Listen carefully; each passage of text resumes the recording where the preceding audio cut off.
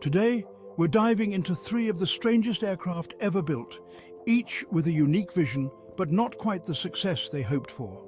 From flying barrels to parasite fighters and even a demon-inspired agricultural jet, welcome to a world of bizarre aviation.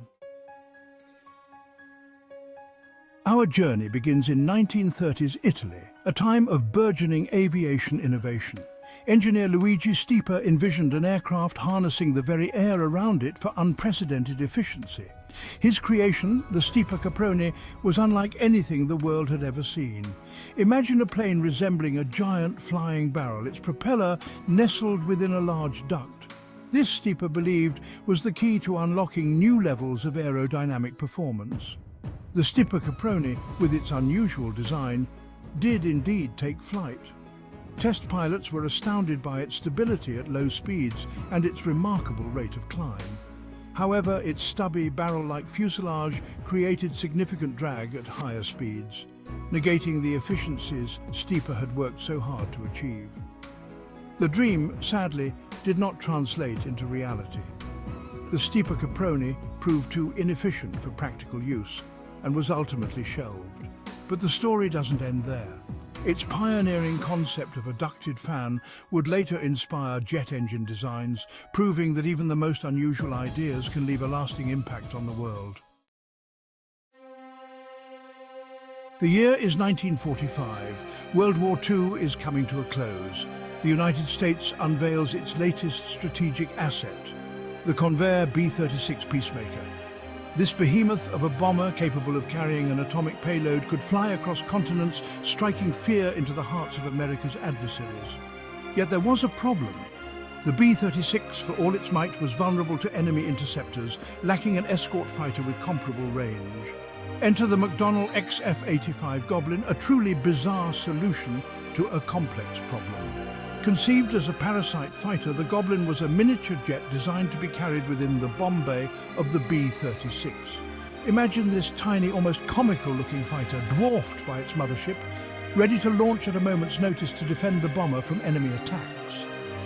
The Goblin, devoid of traditional landing gear, was designed to dock with the bomber in mid-air using a trapeze-like mechanism, a maneuver as audacious as it was dangerous. While the concept seemed sound on paper, the reality proved far more challenging. Docking with the bomber, even under ideal conditions, was incredibly difficult, requiring almost superhuman levels of precision from the pilot. The turbulence created by the B-36's massive wings made the docking procedure even more treacherous. The project, once brimming with promise, was deemed too risky and impractical.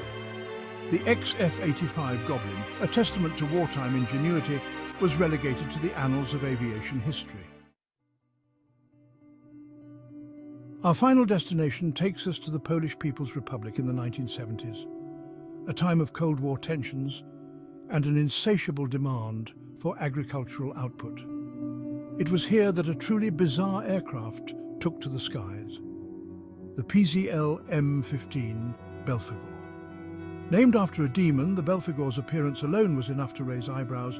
Imagine a jet engine strapped between the wings of a biplane, its twin booms extending rearward like the horns of some infernal beast. This Frankensteinian design was conceived to address a very specific need, the aerial spraying of crops at ultra-low altitudes. The Belphegor's jet engine provided the power needed to carry heavy loads of fertilizers and pesticides, while its biplane configuration offered exceptional low-speed stability and maneuverability. Yet, the Belphegor's unusual appearance, coupled with its smoky exhaust and low-altitude flight patterns, quickly earned it a sinister reputation. Rumours spread like wildfire. Some whispered that the Belphegor was not an agricultural aircraft at all, but a secret weapon designed to disperse chemical or biological agents over enemy territory. Despite its intimidating appearance, the Belphegor was a relatively benign machine designed to improve agricultural yields. However, its operational life was short-lived. The collapse of the Soviet Union, coupled with the availability of more efficient agricultural aircraft, led to the Belphegor's premature retirement. From the ducted fan dreams of the Stipa Caproni to the parasite fighter that never quite fit in, and a demon-inspired crop duster.